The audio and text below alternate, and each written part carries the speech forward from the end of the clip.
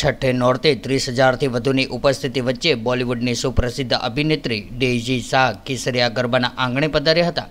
પરંપરાગત ભારતીય પરિધાનમાં કેસરિયા ગરબાના મહેમાન બનેલા ડેઇઝી શાહીની એક ઝલક માટે ઉપસ્થિત ખેલૈયાઓ અને ગરબા પ્રેમીઓની વિશાળ મેદનીમાં ઉત્સુકતા જોવા મળી હતી.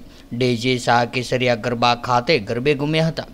ગાંધીનગરના સૌથી મોટા ગરબા મહોત્સવમાં પધારી ડેઇઝી શાહે અનેરા આનંદની લાગણી વ્યક્ત કરી હતી અને આમંત્રિત કરવા બદલ ધારાસભ્ય રીટાબેન પટેલ સહાય ફાઉન્ડેશનના પ્રમુખ શ્રી જીગરભાઈ પટેલ અને શ્રી કેતનભાઈ પટેલનો આભાર વ્યક્ત કર્યો હતો.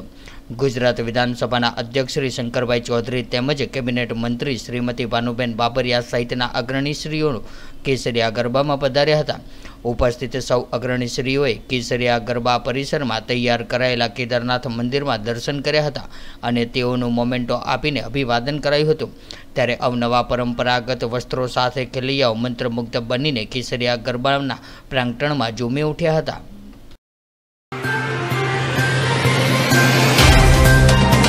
तो व्हाट्सएप ट्विटर फेसबुक इंस्टा जहाँ भी आपका अकाउंट है इसे शेयर बटन के द्वारा वहाँ पर शेयर करें